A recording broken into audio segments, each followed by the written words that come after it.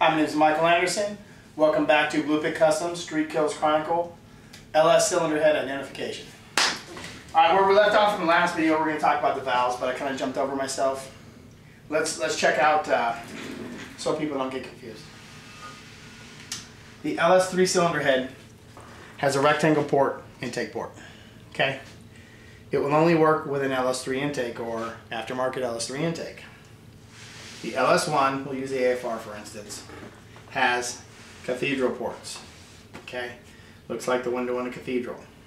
All right, those will only work with cathedral port intakes or aftermarket cathedral port intakes. You know, I shouldn't have to go over that. If I have to go over that with you guys, then you know uh, you need to do a little bit more research before you even touch a cylinder head or anything like that. Cathedral port, cathedral port, rectangle port, all the rest of the LS heads truck, all of them are cathedral port, except for the LS7. Okay, the LS7 actually has a peanut port. It's not even really rectangle. Okay, peanut port is kind of kind of like that, a little bit rounder though. Has more of a peanut port.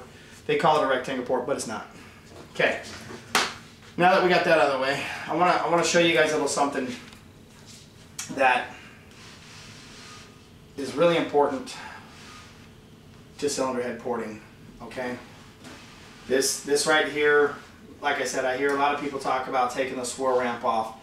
The reason they talk about taking taking the uh, the ramp off is because they have happened to notice that all the top name cylinder head manufacturers take the ramp out. Okay.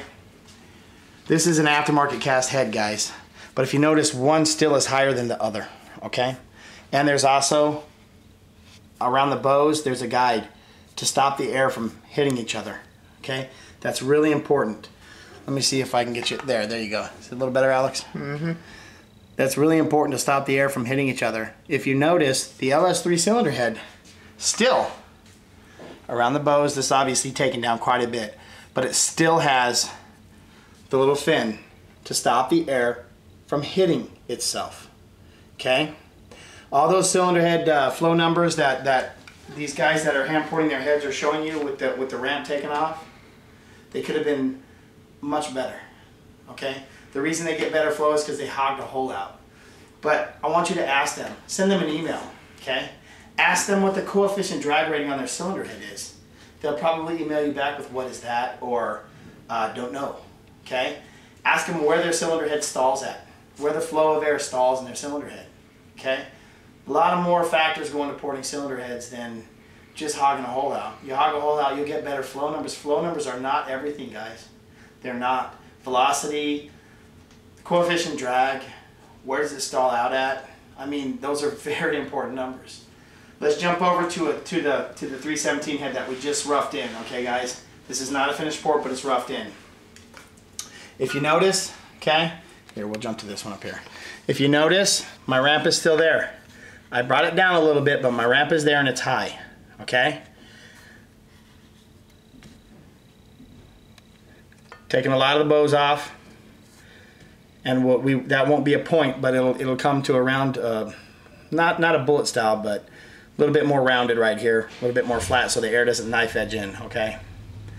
Now we're gonna go over to the one that I was showing you that we ported through. We did that to show you guys something, okay? If you look at this port right here, both of these on the on the on the, the swirl ramp, both of those are almost equal. And there is no fin to divide the air. The air is going to wind up hitting itself on the backside. Okay? No matter what. It's going to hit itself and it's going to cause flow issues. Not well, not necessarily flow issues, but drag issues. And right here on the backside, the air is going to start. It's just going to hit each other, and you know you're not going to get the results that you should have gotten with your cylinder head port. Okay, guys? So just be real, real careful when you do that. Here's a stock one. Stock swirl ramp. They do this to add torque and velocity in the air. This works as a slipstream, then this jumps the air and it kind of pulls itself in there. Okay? There's a reason that's there. The factory's not stupid. All right? So take that down a touch, but don't mess with it too much, guys. Okay? If you mess with it too much, stuff like that happens okay? You don't want stuff like that to happen. And also, you start screwing, the air gets really turbulent back here. Okay? Real quick, what are we at minute wise, Alex? Five minutes. Five minutes. Okay. We're going to go over the valves real quick the LS3 valves versus the regular valves. So, uh, let me pick that up there. We're to cut back to you. Let's get our scale evened out and get everything evened out. We'll cut back to you guys in just a second.